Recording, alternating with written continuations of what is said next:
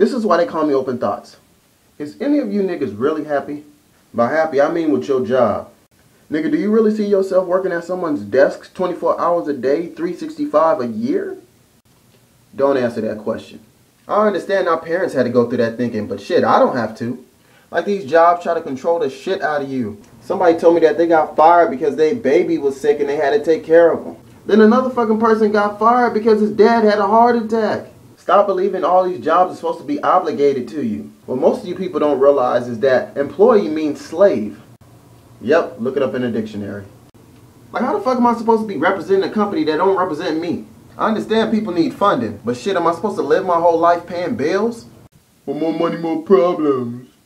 No, dumbass. More money, less problems. This is the reason why you're going after more money so you can think about less problems. Like this old society thinking is dead. Like I'm tired of these one-dimensional ass people, man.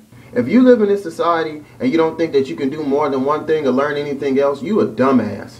Like you get the George W. Bush stamp of approval with that one. Like how could you live in the information age where you can get anything you want and learn whatever you want and still don't want to do shit? That's like being on your deathbed, surrounded by vegetables, and you still decide to get in the car, drive 53 miles down the road to go get some pork sandwiches.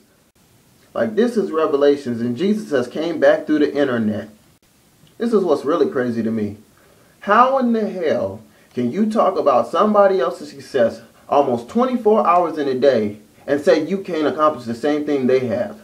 Like I know some niggas who talk about LeBron James and the ESPN all damn day. And not even one of them niggas decided to be a sportscaster. Like don't you niggas think it's kinda odd that you talking about another man?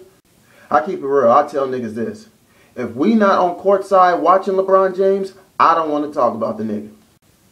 Like think about it. Somebody has just spent half the time you did on your job and they made either from a hundred to a hundred million dollars more than what you have done in the same amount of time.